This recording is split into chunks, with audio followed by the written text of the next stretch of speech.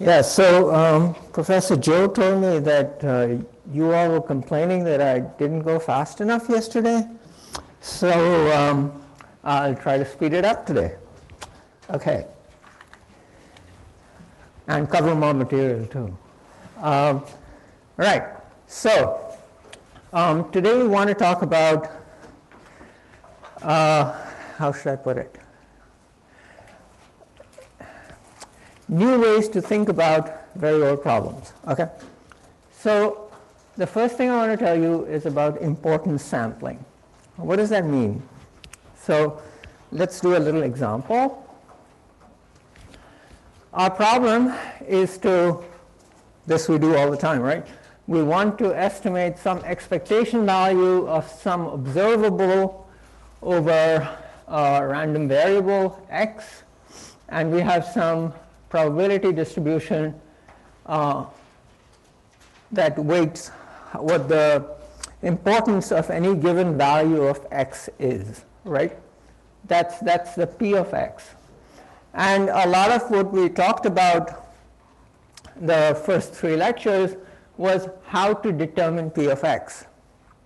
And one of the ways we determine p of x, the probability distribution or the probability density for the random variable x, is we probe it with many different uh, operators or many different observables, right?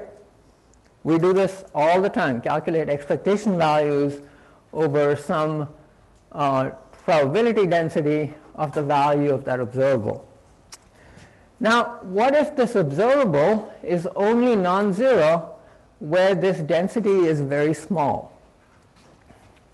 So now, um, imagine that the expectation value, so when I write this symbol i, the curly, the calligraphic i, what I mean is the uh, the function that's a 1 where that uh, observable is non-zero and 0 everywhere else, right? So this is shorthand for the Heaviside function, okay? Now, suppose this value is less than 10 to the minus 8. In other words, the probability density of all the points where this observable is a non-zero is very, very small, right? So if we wanted to estimate the value of this observable, the expectation value, we would have to draw more than 10 to the 8 samples, right, to get even one example where this observable would be non-zero, right? Yes? So it's very inefficient to do sampling in regions where this probability density is very small, right? So the whole idea of importance sampling is to distort the density to, dis to replace this p of x with something where we know how we modified it, right? But the events where x happens to be, uh, where O happens to be non-zero, get uh, a higher probability in the distorted density. Okay? Yes? So let me give you an example how this works, or what concretely we mean by this. So we want to estimate this gamma. I is some function that is non-zero in some range of the density of the values that this random variable takes. Now when we draw n samples from this density, so we're doing some sort of Monte Carlo or some sort of sampling estimation, of this number gamma. Now we draw n samples from this probability density and our estimate is gamma n is the average 1 over n i this Heaviside function evaluated at xi. Yes? Right?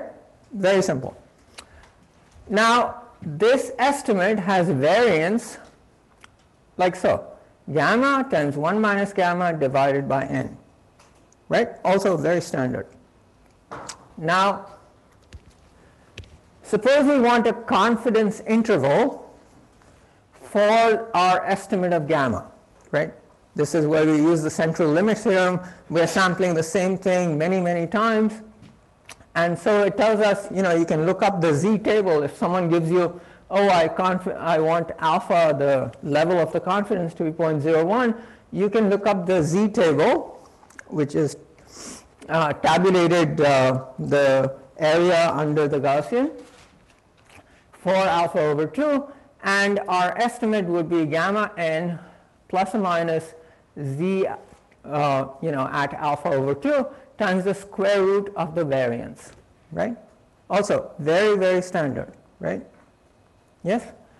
Um, for example, if alpha was 0.01, the confidence interval for gamma being less than 0.1 would be um, this number 2.576 is the square root, is that uh, z uh, that we calculated for alpha equals uh, 0.01 and the square root of the variance should be less than 0.1 times our estimate gamma n. So what's the value of n that we need? Well, n is approximately, you, um, uh, I gave you the formula for variance right there, there's n. So we solve this for n, and we find that n needs to be, oh, about 2.576 divided by 0.1 squared times 1 minus gamma over gamma. That comes from the variance divided by gamma. So if gamma is very small, like gamma is 10 to the minus 6, right? Then that means that we need almost 7 times 10 to the 8 samples to estimate this very, very small number, right? Yes? So that is the real problem of trying to estimate a quantity that's only non-zero where that event is very, very rare. Okay? That's what we're trying to do. So how do we do this? Well, the basic idea is, as I said, we're going to distort p of x into another density. And our, what we're going to talk about right now is how do we choose this distorting density. So imagine you, this is just algebra going from here to here. You see I multiply and I divide by some density q of x, right? I can do that for any density q of x that is non-zero in the range of values that x takes, I can do this, right? Um, and now the idea is that we change our observable from being the Heaviside function of, uh, you know, that's non-zero only in some region we're going to change the variable, the observable to be p of x divided by q of x times our original um, variable. Yes? So we get instead of E sub p, the expectation with respect to the measure p, we now are evaluating the expectation with respect to the measure q, the density q, uh, but of a different observable, right? Very simple idea. Is that clear? What we're doing? We're just multiplying and dividing by q, and then we're going to try to be clever in how we pick q. Yes? That's the idea. So, sort of intuitively, we want to pick q of x so that I, I evaluated at those values of x when i is non-zero is equal to 1 is not rare in this distribution, right? That's the idea. If we sample with respect to q, this value of x where i, our original observable, is not equal to 0 is not rare, right? So let me, maybe I draw it and that'll be a little bit clearer. So suppose our initial distribution is like so and we want to evaluate something way in the tail here, right? So I O is greater than 0 only here, right? Okay? So that means we draw, if we draw things from where the density is high, I is 0 there, right? So it's totally useless for us to estimate this, right? So what we're going to do is distort this by Q, and Q might be a density that looks more like uh, more like So this was our original density P, our new density might be like this, right? And now what happens? Now the region where our observable is non-zero, right, is much more likely to occur if we sample with respect to Q. Yes? And we have to compensate for the fact that we've changed the density to Q by the observable going to P over Q times the observable, right? So the samples that we need from Q are not rare anymore, right? But we're compensating for the fact that we distorted it by multiplying by this number, right? And this number can be small. In fact, it will be small, right? Because P is small in this region and Q is large, right? But the sampling that we do will give these values much more frequently, right? That's, that's really, it's a very simple idea, but it turns out to be very powerful, as I'll try to show you, okay? Yes? That's all there is to it. Okay, so now what we're going to talk about is how do we pick Q in some sort of, uh, how should I say, uh, rational way, okay? Okay, intuitively, as I tried to explain, what we want to do is we want to maximize Q of x where our observable is not equal to, is greater than zero, right? Or not equal to zero, right? Any Q will lead to the same expectation if you draw enough times, right? If you take enough samples, any Q will lead to the same expectation value, okay? What's different about different Qs? What would be different about different Qs?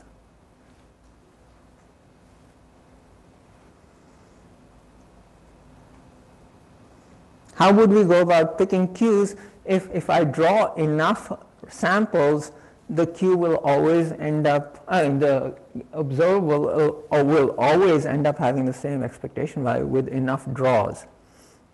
So what rational reason do we have how do we decide what Q to use? Sorry? Right, so we want to figure out some way to quantify how quickly it's converging, okay? And the way we quantify that is to evaluate the variance of the observable, the variance of this distorted observable, right? we calculate how what the variance of this distorted observable is okay and a little bit of algebra this I just plugged in this distorted variable in here. Remember this is the Heaviside function. So i squared is i right? So this expectation value with respect to the uh, new density q of OQ squared is q times p of x over q of x squared times IO. So that turns out to be the expectation with respect to our original density P okay, of this distorted uh, observable. Okay? So what we're calculating is the variance, right? And what we want to do is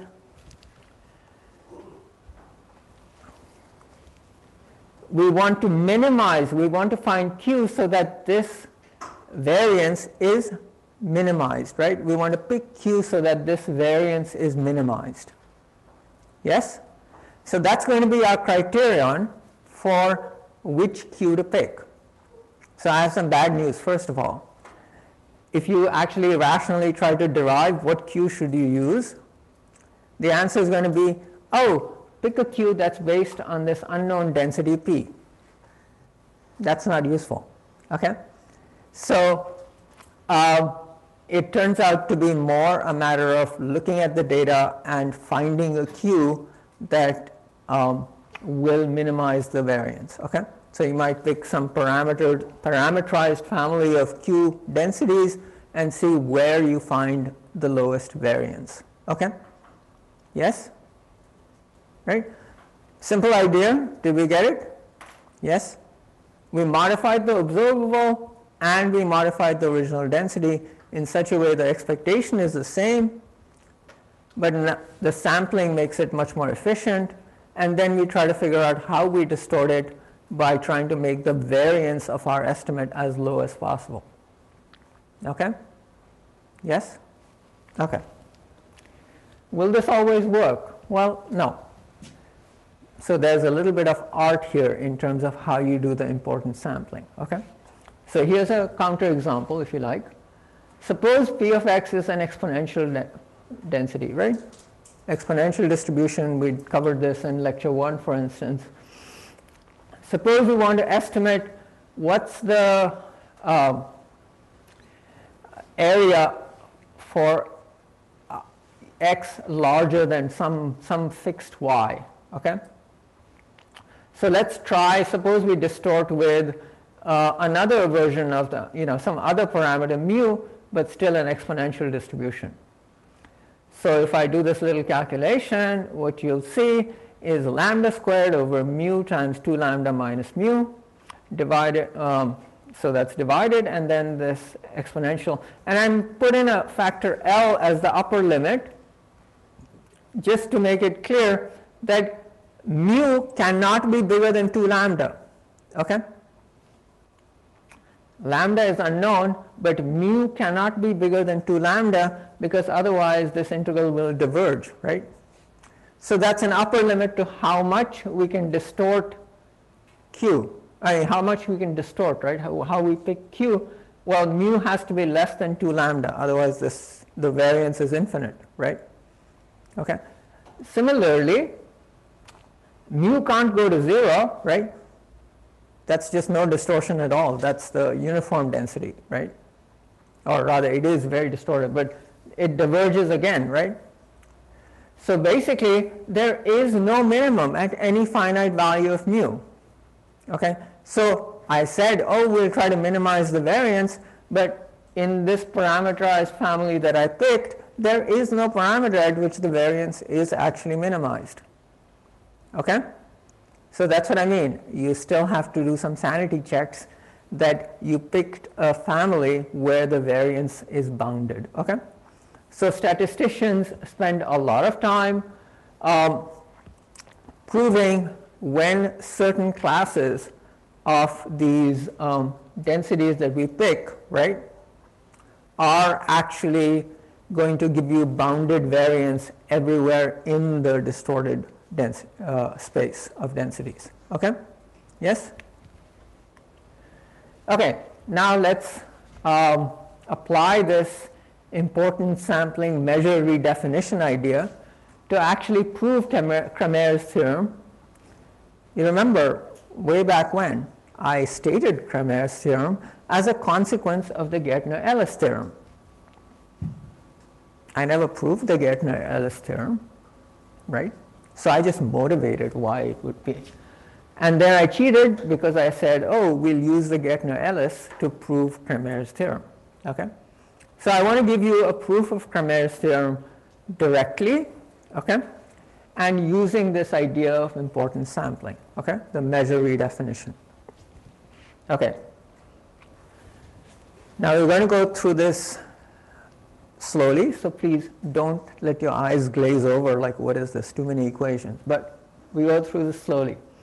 Um, so here's the probability that the sample average, the sample mean, is greater than some value mu plus epsilon. Okay? Right?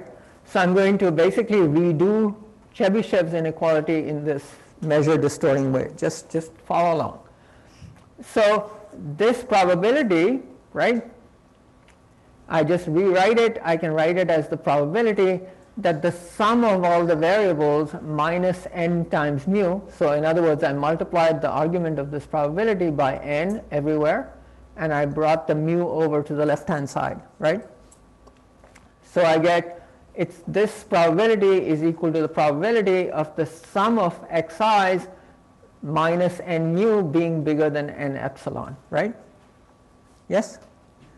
Now if you remember our first proof of, proof of Chebyshev's inequality, um, we then said, well, the probability that it's bigger than n epsilon means that if we take the expectation value divided by n squared epsilon squared, this quantity is less than this probability, right?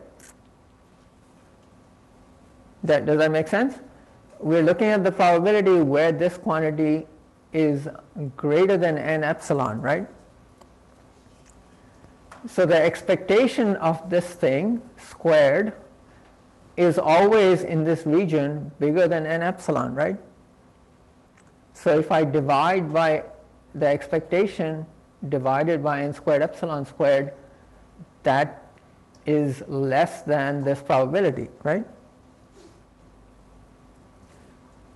But the numerator is just n squared times sigma squared. If x is a, a normal uh, random variable with mean mu and standard deviation sigma, the numerator is just n squared sigma squared. And the denominator is n squared, sorry, the numerator is just, uh, what did I say? The numerator is n times sigma squared because this is n copies of x minus mu, right? So the numerator is n times sigma squared, the denominator has n squared epsilon squared, so this is sigma squared over n epsilon squared. Okay? Which is the sort of statement that Chebyshev's inequality said, right? That the probability that the mean is bigger than something is greater than this. We stated it the opposite way, that the prob, okay? And you can do the same argument if you change the sign, you mu mi minus mu minus epsilon, same, same kind of argument. Now, if you look at this, the same thing, the same argument, we could just put in some arbitrary, always increasing function psi, and the same thing is true. Just think of it psi is any non-negative increasing function, then this probability is less than equal to probability that psi of the left hand side is bigger than psi of the right hand side. Okay? Simply because psi is a non-negative increasing function. What examples do we know of non-negative increasing functions that we are very fond of? Sorry? Yes, more generally, we're very fond of the derivatives of convex functions. Okay? So that's just keep in mind that this psi will turn out to be the derivative of a convex function at some point. Okay? All right. So that's what we get when we basically x squared was the function that we used here. Here we're taking psi to be any non-negative increasing function and we get this. Okay? Just the same argument, but the other way. Okay? Now we take psi to be the exponential function. Okay? And what we get, and why did I do this? Because remember, we were distorting the density, right? So this in the uh, large deviations literature is called tilting the measure.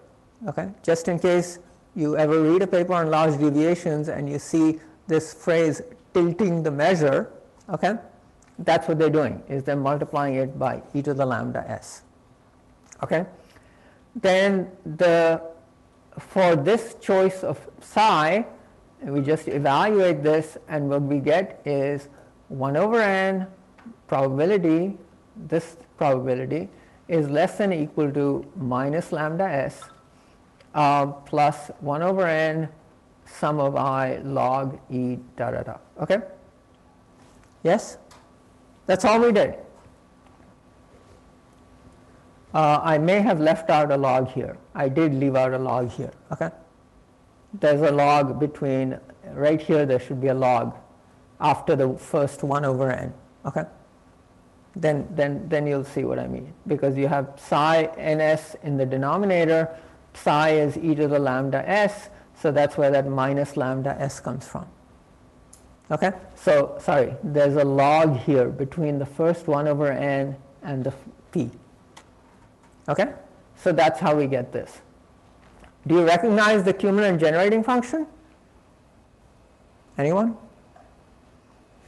There's n copies of the cumulant generating functional right here. Log of exponential lambda x. That's the moment generating function is e to the ex expectation of e to the lambda x. Log of that is the cumulant generating function.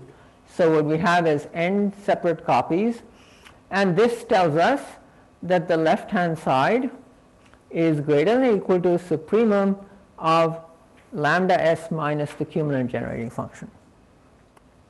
Hopefully that reminds you from way back in prehistory like Monday or something that is the Legendre transform right? And this is what the important sampling thing is trying to get at right? Again there's a log missing here as well okay? So there's a log here there's a log here okay? All right uh, this is an, a lower bound so let's do the upper the other bound. Now again you see the distortion our new measure q of x is p of x times e to the lambda x divided by mx lambda why do we put in this mx lambda which is just a number it's not a random variable it's not a function of a random variable, it's just a number. It's just a function of lambda, right? That's the moment generating function. So it's just a function of lambda. Okay? Why do we put it, that in the denominator? Because then if we calculate the expectation value of 1 in this measure q, it's the measure q is still normalized. Okay? Right? So this is a concrete example of where this tilting of the measure or importance sampling changing, it actually is going to be used. Okay? Um, so now we do that same calculation and this time I left the log where it was supposed to be. Okay? And let's not go through the algebra in great detail, but basically um, what I want to point out is you do a little bit of the same kind of algebra and you end up, and this is where I will go into detail, the same sort of arguments give you this. That's just taking this log and noting that this part is just this part. But then when we take the log of expectation of this part right here, the Heaviside function for this, that's where we have to be a bit careful. Okay, so that I'll do in detail now. So are we clear about what's going on here? We did one side of the inequality for finding the rate function as a function of lambda s minus the cumulant generating function, right? Now we're doing the other side of the inequality so that at the end we'll say, oh, that's why it's true because it's both less than and great, greater than this function, okay?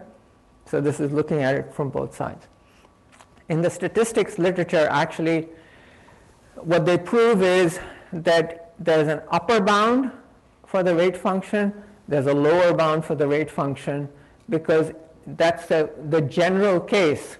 You actually get an upper bound and a lower bound and they're not coincident, okay?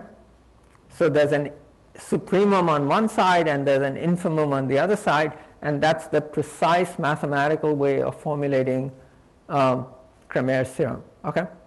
Or anything to do with rate functions actually. If you look at a mathematical paper on rate functions, it'll always talk about the lower bound and the upper bound for the rate function, okay?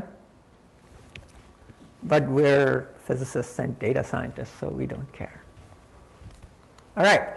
Okay, now as I said, I'm going to go through this carefully because this is where we see exactly where the Legendre transform comes in. So what we want to show we have this form and we'd like to say that, oh, this is the only part that matters as we take the limit epsilon goes to 0. Okay? That's what we'd like to argue, which means we have to point out, we have to show that this right hand side actually goes to 0. That's not obvious. Okay? So we have to show that this right hand side, this right, the term on the right actually, the term on the, on the right for me, on the left for you, this term actually goes to 0, okay? All right. So there's that term and we want to show the limit as epsilon goes to 0 of this probability that s plus epsilon is an upper bound for the mean, sample mean and that's greater than s goes to 0. So now let's look at some properties of the cumulant. First of all, uh, the derivative with respect to lambda uh, is, if you write it in terms of EQ, our distorted measure, it's the expectation of x in the distorted measure. And in our original measure, it's the expectation of x times e to the lambda x divided by the cumulant generating function at lambda.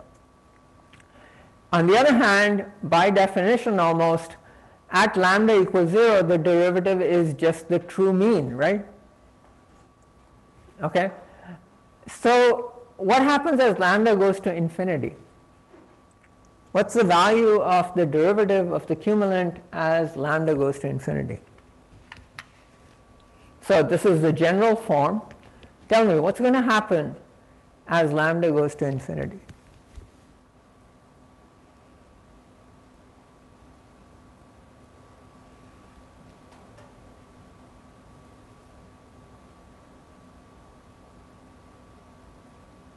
Guess, what's going to happen?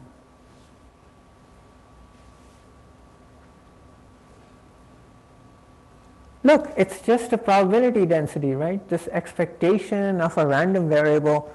Imagine there's a probability density, right? If I distort the measure giving more and more power to the highest value of x that the measure is non-zero, that the density is non-zero, right? As lambda goes to infinity, it's just going to go to that highest value. It will be concentrated only on that highest value, right?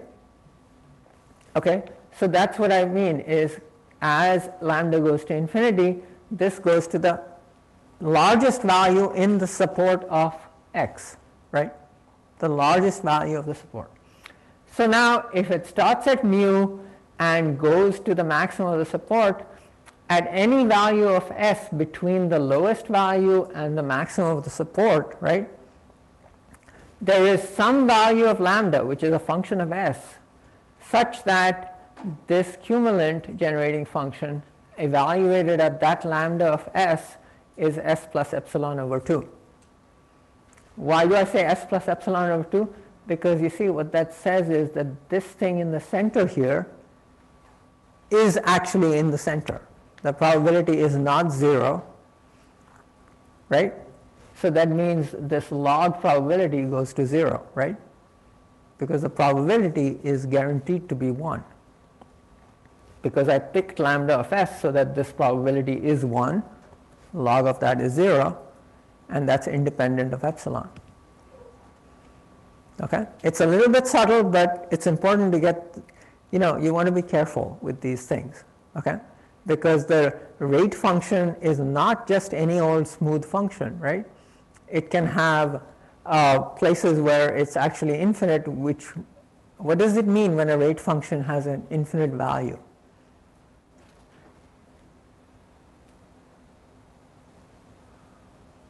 What does it mean? Can a rate function have an infinite value? Come on, I won't bite your head off, just guess. What does it mean for a rate function to have an infinite value? Sorry? The probability is a zero at that value. So the rate function had better be infinite at that value because remember it's e to the negative n rate function is the probability, right? So if the probability, if the rate function happens to be infinite, that means the probability is exactly zero that that mean value is never going to get to that value, right? Okay? Um, so it's important to show this and so what you see here now is our the other side of the inequality lambda of s lambda which is now a function of s right minus k of x at lambda of x. And that is exactly the Legendre transform, right? So the rate function as a function of s is equal to the Legendre transform of the cumulant. Okay? So that's an honest proof of the Cramér theorem. Okay? Yes? Are there any questions? Because now we start to do funky stuff.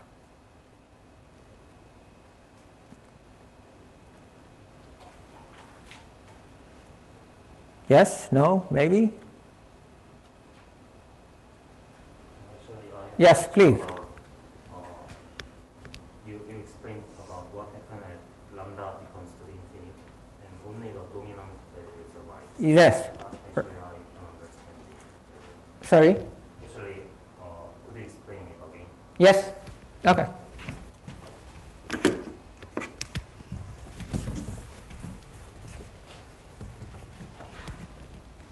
All right. So here's a line and suppose p of x looks like this, right? Yes? This is the original p of x. Now we're multiplying this by e to the lambda x, right? That was our q of x, multiplying it by lambda of x. So for different values of lambda, this will start to look like this.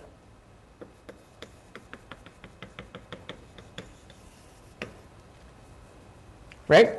But it can never get higher than the point at which um, p of x, the last, the highest value, where p of x is non-zero, right? So as lambda gets larger and larger, q of x becomes more and more like this, right? So ultimately, as lambda goes to infinity, remember q of x is normalized, its integral is 1, right? Okay? So what's it going to be? The only value it can be is q of x becomes a delta function exactly at the largest value of m, uh, of the support of p, okay?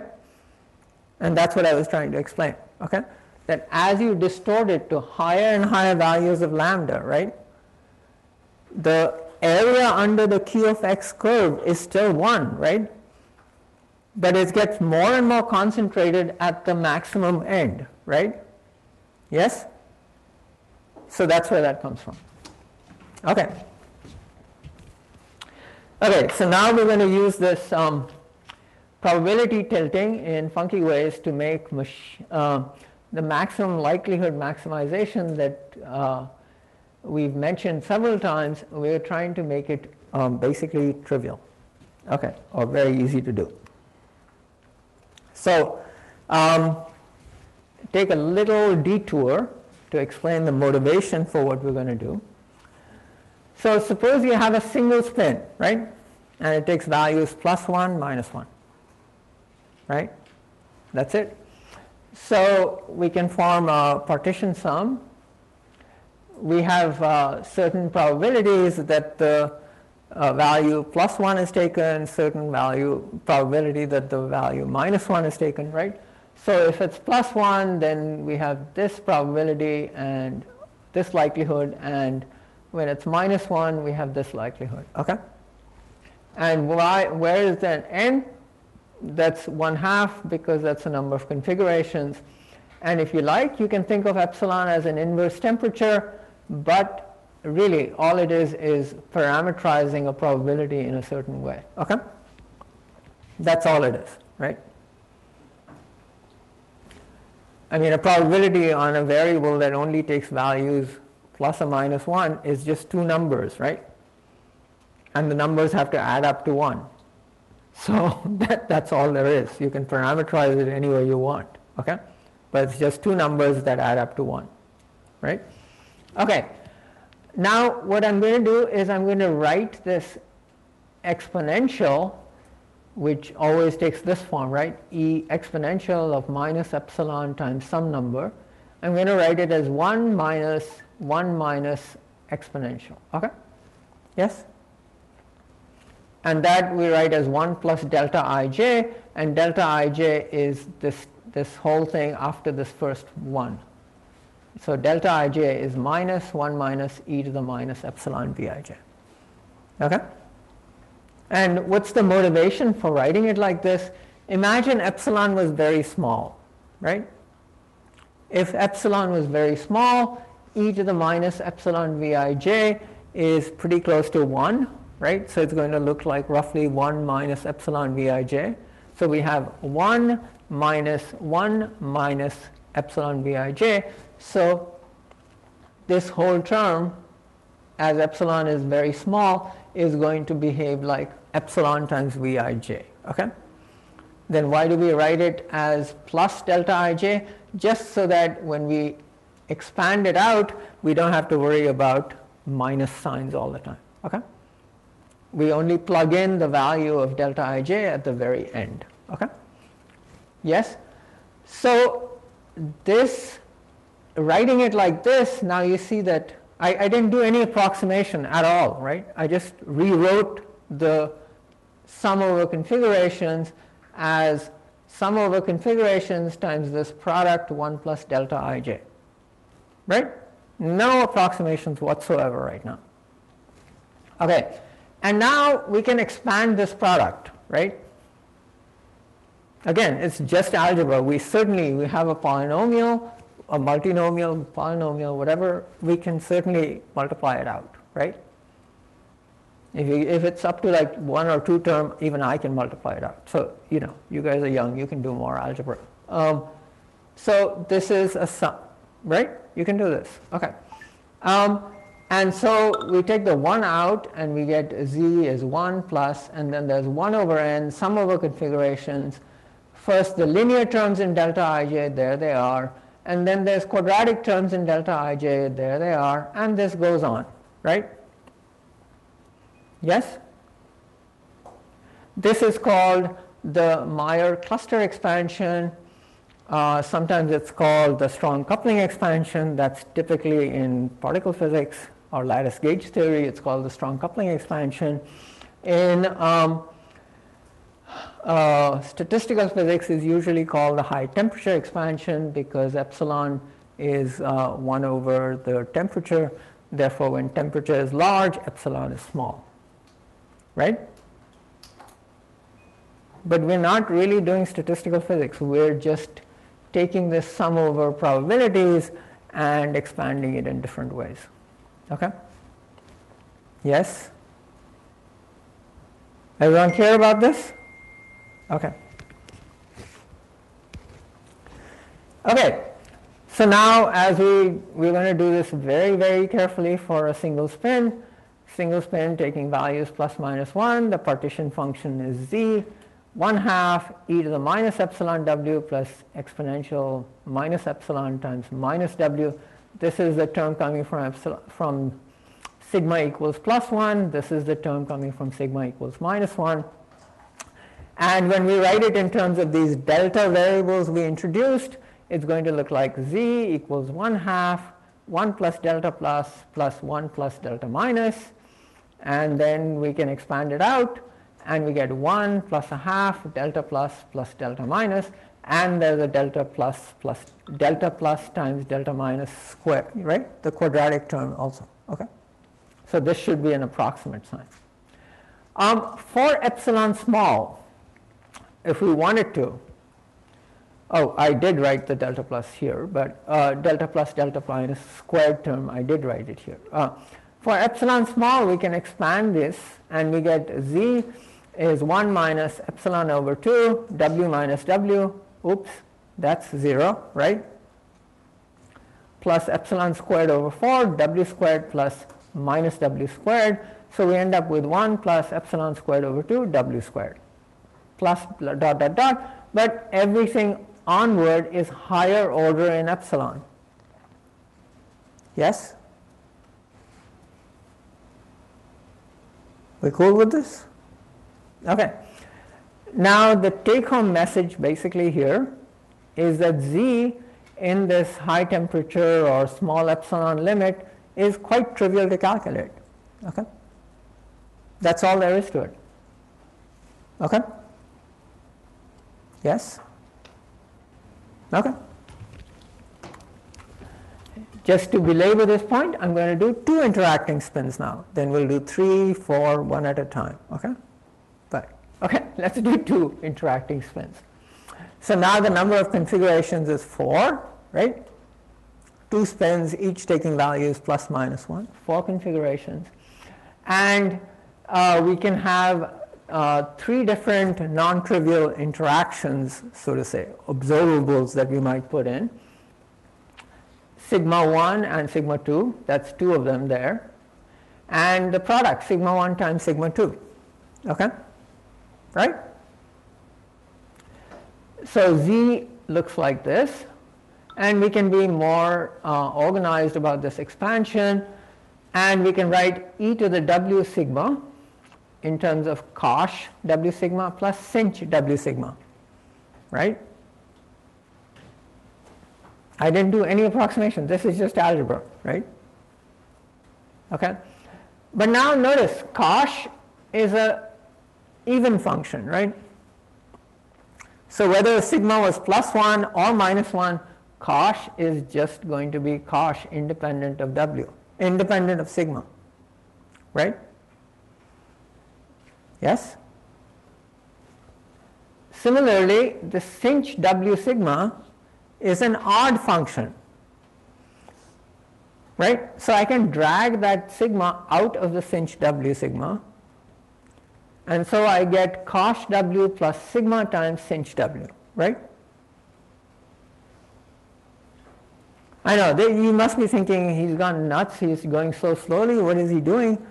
But, you know, just, just fall, bear with me right now and I want to be sure everyone understands what we did here, okay? So now we factor out cosh w and we get 1 plus sigma tanh w. We all agree with this? Yes?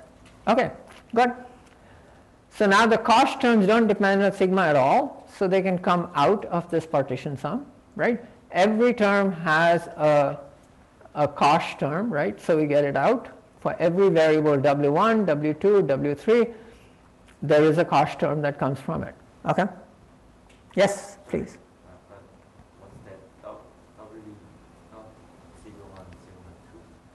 Sorry? Ah, there's w1 sigma 1 plus w2 sigma 2. I use the Einstein summation convention.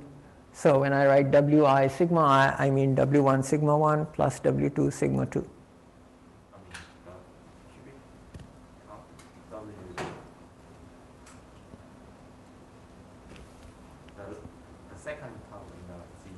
This one? It's a new variable. It's a new. It's a separate parameter w3. It's not w cube. Sorry, bad notation. It's not w cube. It's w w a separate new w parameter for sigma 1 sigma 2. Sorry, I, I'm so sorry. Yes. Okay. Yeah, yeah. It's not not a higher power. No. It's a totally separate parameter w. Okay. So there's three parameters, W1, W2 and W3. Okay? Yes? Okay, so I just applied this to each exponential separately, right? So I write the, this exponential which has a sum as product of three exponentials, right? And then each exponential I write in terms of this cosh times 1 plus sigma tanh. And so I get this expansion right? Yes? And you notice here that this part does not depend on the configurations at all, right? It's just this part that depends on the configurations. So we won't ever need to sum over these, but it's good to see that what's the only term that could survive here? Remember, sigma 1 independently take values plus or minus 1. So any term that has only one sigma 1 or one sigma 2, right? It's going to be multiplying something that's independent of sigma 1 and sigma 1 is going to take values plus 1 minus 1, right? So all those terms cancel. Any term with only one sigma 2 is also going to cancel. Any term with sigma 1 and sigma 2 is also going to cancel. Okay? Right? So even with interacting spins, z is very simple to calculate. Okay?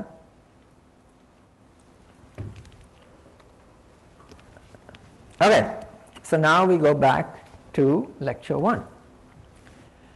And I showed you that the Kullback-Leibler divergence between the observed frequency distribution and the uh, probability distribution that we're trying to figure out, the parameters we're trying to figure out, is the expectation value minus the empirical expectation value of that observable, right? We did this way back when. Okay. And we said that this expectation value was the derivative of the log of the partition function and that's why it was difficult to calculate because the partition function is difficult to calculate. So was I lying then or am I lying now? I just showed you partition function are really easy to calculate in the high temperature limit. So what's going on? It's not very difficult. You just saw an approximation.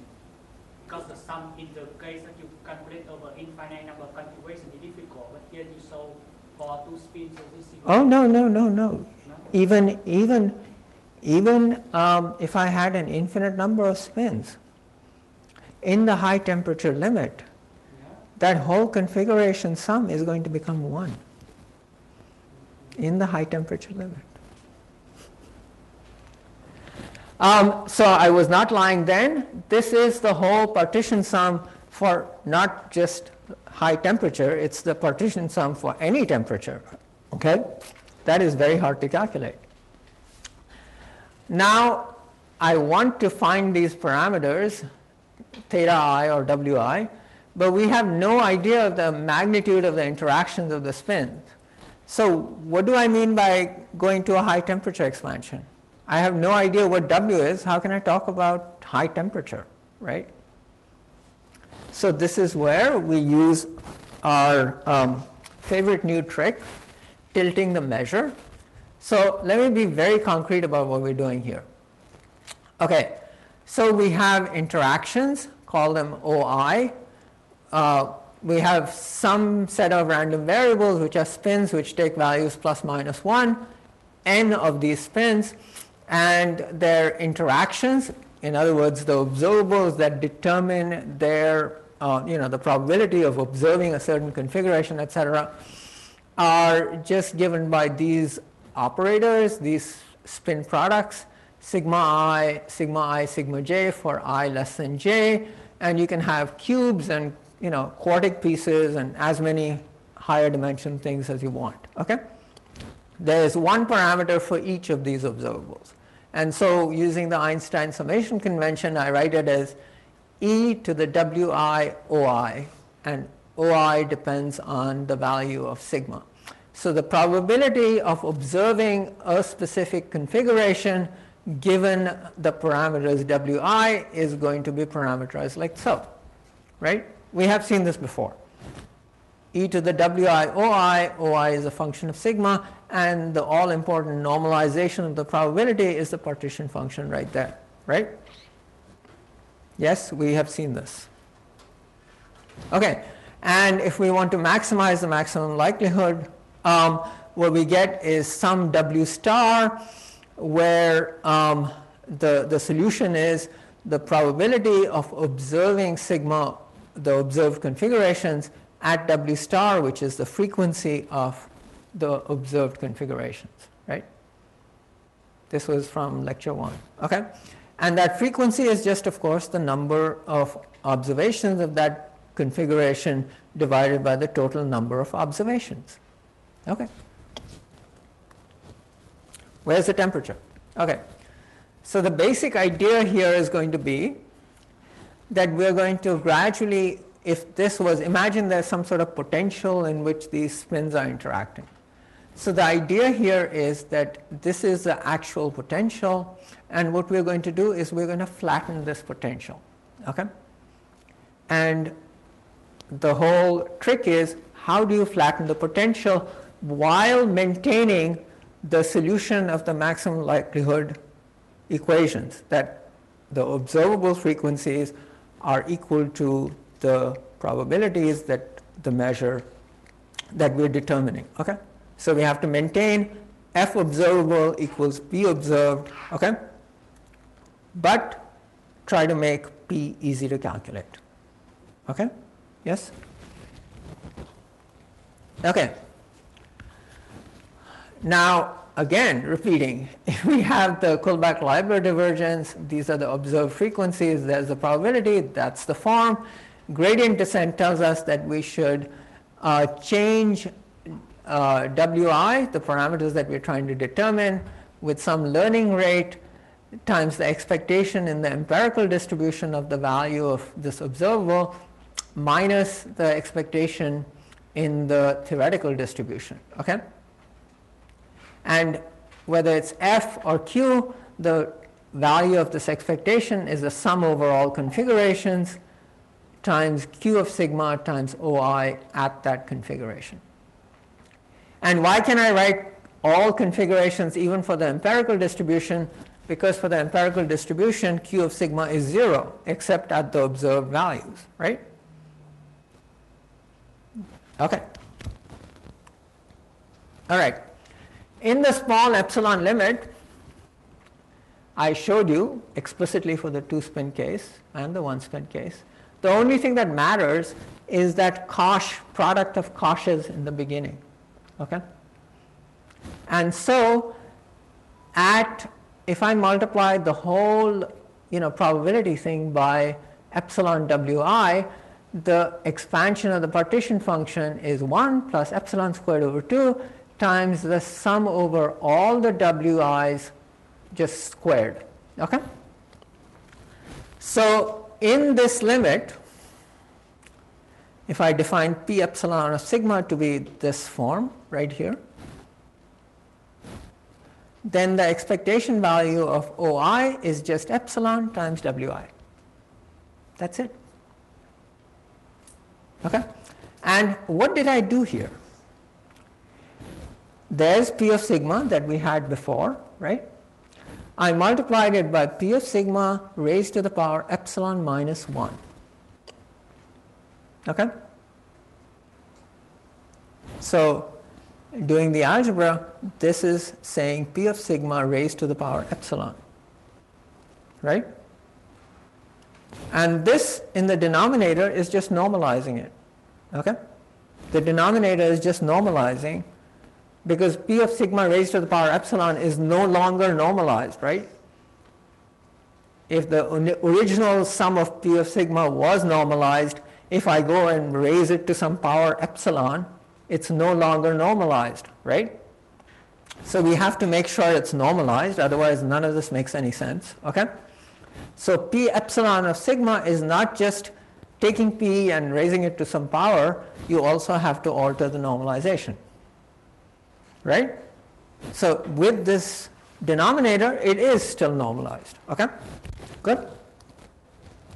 So how is this useful? After all, we want to ensure that f observable is equal to p observable. We don't want to find solve different equations. We want to solve that same maximum likelihood equation.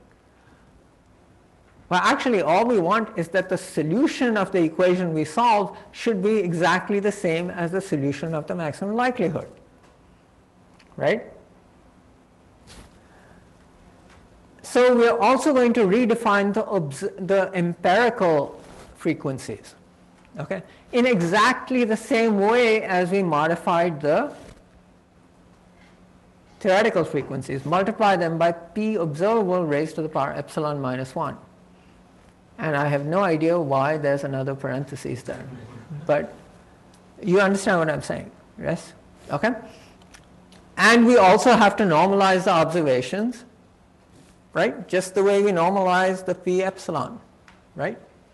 Okay. Now if we try minimizing the Kullback-Leibler divergence between this normalized probability distribution and this normalized probability distribution, it still gives you the answer that you want. if you follow the steps that we did, remember there's a Lagrange multiplier that enforces normalization, right? Just follow the steps, step by step, you get the same answer. Okay? So, what was the benefit? The benefit is now that gradient descent is saying delta Wi is proportional to the empirical frequency, empirical expectation minus the expectation in that high temperature limit.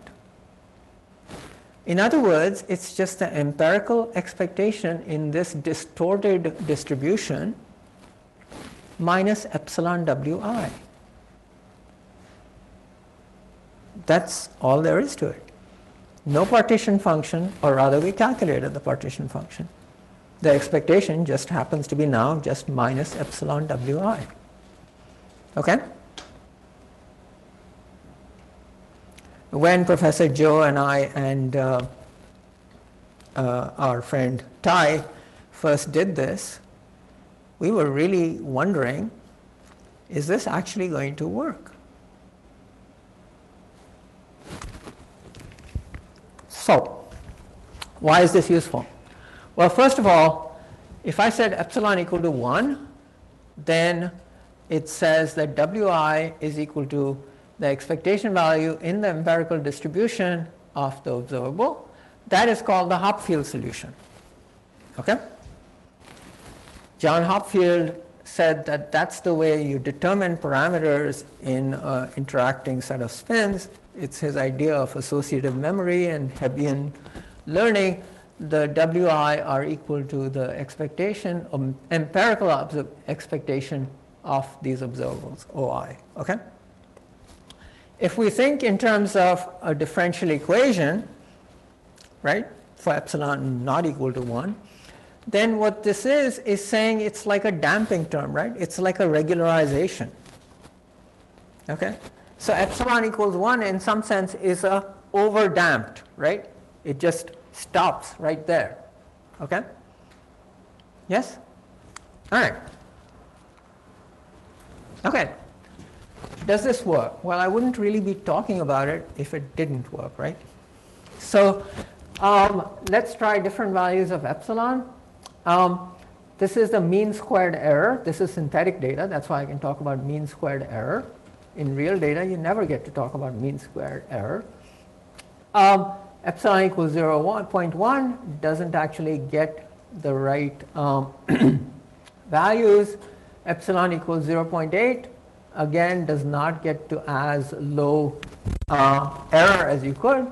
Epsilon equals 0.5, you know, it's lower than both, so somewhere there's an optimal value. And um, if you plot, uh, this was with respect to iterations, how many iterations it takes to get to the optimal value. And if you look at the mean square error as a function of epsilon, you can see that it goes down and then it starts to go up again. Whether you have 10,000 data points or 5,000 data points, that's how it looks. Okay? Yes? This is for m equals 20 spins. Um, oh, those curves are already on the um, last uh, slide. The Kullback-Leibler divergence looks like so. Okay? Uh, remember, this is the epsilon equals 0.8 this is epsilon equals 0.5, and this is epsilon equals 0.1. Kullback-Leibler as a function of epsilon keeps going down, but we don't really care. What's interesting for us, and what took us a long time to figure out, is exactly when do we stop the iteration and what is the best value of epsilon to use.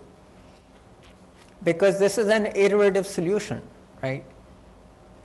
So what value of epsilon should we use and how many iterations to do? Okay. It turns out the number of iterations is not that hard to figure out, but the value of epsilon to use is hard to figure out. So then what we figured out is that if you look at the internal energy, so to say, right? That internal energy is maximized at the value of epsilon that gives you the best fit. Okay? It's a very pretty flat curve, so it's not very sensitive. Okay? But at epsilon too small, that would be an underdamped system, right? Or epsilon very large, that's an overdamped system, right? Um, that gets you worse um, performance, but somewhere in the range in the middle, if you just follow the energy, and I say why follow the energy? Because that's actually something that you can calculate from data, okay? You don't need to know what the right answer is. Okay? All right. Uh, what's nice about this is that it is very efficient. Okay? Um, and it can go to very large system sizes relative to any other way that I know. Okay? So this is a pseudo likelihood estimation, that's maximum likelihood. You can use maximum likelihood, exact maximum likelihood, oh, up to about 20 spins. Okay? Maybe if you go to a cluster, you can do uh, a few more spins, but not that much more. Okay? Because you have to calculate the partition function to do exact maximum likelihood. Okay? The pseudo likelihood method is basically doing a Monte Carlo to figure out what the denominator is that we didn't want to calculate. Okay? Um, our method, the, which we call the eraser machine, erasure machine. Why do we call it erasure machine? Because basically it works by erasing the potential, right? We're distorting it to the point where it's a flat potential, almost flat potential, right? And in the process of that distortion, you can figure out what, you, see, look at it this way. You have to know what the, um, what the interactions were before you can erase them, right? So in the process of erasing the interactions, we learn what they were. Okay? Um, so a few more slides. Uh, weak coupling, strong coupling, sample size, all works pretty well. Um, now I can't show you, so this is for m equals 40, which you can, you know, you can do, uh, you can't really use exact uh, maximum likelihood for this, but you can do pseudo likelihood. Um, and if you look at the accuracy, if you have weak coupling, um, we do pretty well on most things. At strong coupling, we do very well. Okay? That's uh, now at you know 100 interacting spins. Uh, the Hopfield solution still works because that's a very simple solution, right? Wi equals expectation value. The Hopfield solution always works even for very large systems, uh, but not very well. Okay? The other two methods you can't even apply for very large systems. This is 100 spins. Um, the Hopfield solution works, but it doesn't give you the actual couplings. Our solution gives pretty uh, decent couplings relative to that. But just think, what's the state space, what's the set of configurations for 100 spins? 2 raised to the power 100, right? You're not sampling this exactly. And no matter how large a data set you get, right? I mean, this is going up to 40,000 samples of 100 spins, right? You're never going to reach 2 raised to the power 100, right? So this is with a very small fraction of the total configuration space, which is all you can hope to get at, okay? And because I work in biology, it is important for me to be able to get some estimate of couplings in very complex systems where there is just not enough data. Okay? Okay. Um, and that's the last slide, really. Hopfield, Boltzmann, and our eraser machine. This is the inferred interactions. These are the actual interactions. Uh, this is for 100 spins. The red is our interactions. The black is what the Hopfield machine gets. Um, computation time, there's the Boltzmann exact calculation, and there's our um, erasure machine. Uh, I think that's what, at system size 24, that's as high as Tai could get it. Uh, that's a factor of on the order of 10 to the 4 difference. Okay? Um, this is uh, not really relevant, but okay. So I'll end with uh, what every data science talk has to either start with or end with, MNIST images. What we did was we asked, can we figure out, uh, use this kind of Boltzmann machine to remove noise from uh, noisy images if we have some training set, right? So what, how do we use that? The idea is that each pixel represents a spin, right? And every, like if you have the digit 8, then you train the Wij to know what the interaction should be for the digit 8, right? Now if I give it a distorted image with noise, right?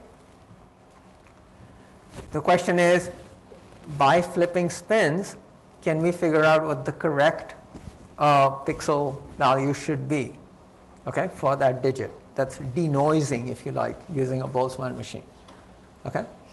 And so it does reasonably well. It doesn't do perfectly, but it does reasonably well in recovering a denoised image, okay?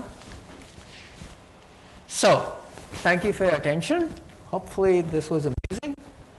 If you have any questions, you know, talk to me or you can email me and I will respond. Okay? Right? Thank you.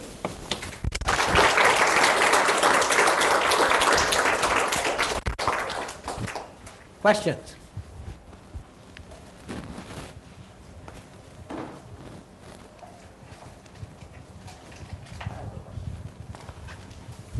So if I, if I, understood, if I understood your procedure right, and maybe I didn't, um, you're reweighting all the configurations using this epsilon to make them almost everything you observe almost equal frequency effectively. Is that? Ah, that's right. Yes. Can, can you? I, I guess I missed the intuition of why you're not killed by sampling noise on these rare configurations. If I reweight the observed frequencies, you would expect much more noise on the tails. And by reweighing it, I thought you would be killed by that noise because you're kind of boosting errors as well as signal. But somehow it doesn't seem to be the case in your empirics, so I, I, I missed No, something because, fundamental. because actually the, the configuration that you're matching to, right? The, the model configuration is exact. That minus epsilon w that is replacing the uh, theoretical observation expectation value, okay? That is absolutely exact in that limit. And what is happening is that we update w and before the next iteration the observed frequencies are adjusted to the new w. Okay? Let me, um, this is a, a little bit subtle, so let me. Mm.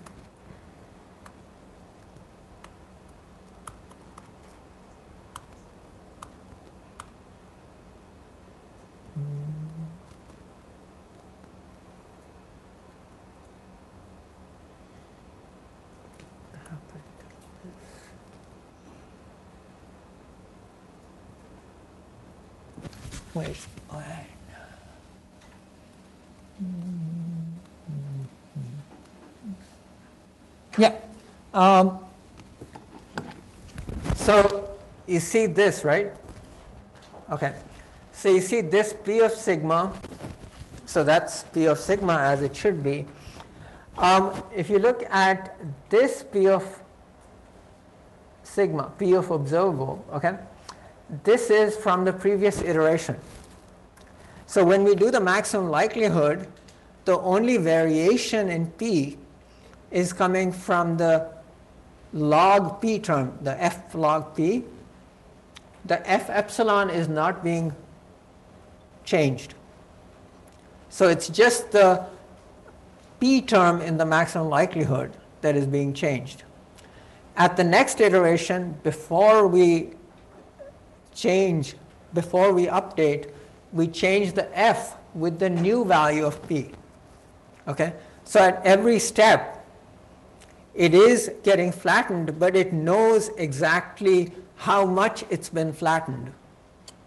Okay? And the partition function is being calculated precisely. Okay? So it's like importance sampling, if you like, but the, the tails of the distribution are very sensitive because the, the partition function, the theoretical model uh, part of the uh, gradient, right, is exact.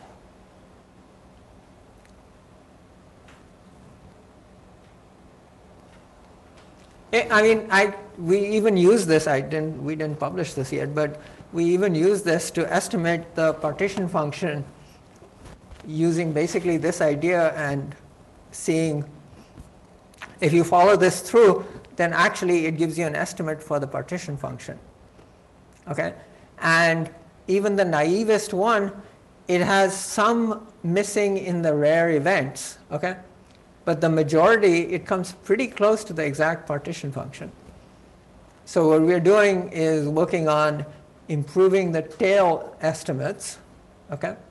But you do not get killed by the variance, not, not at least in any experiment that we've done.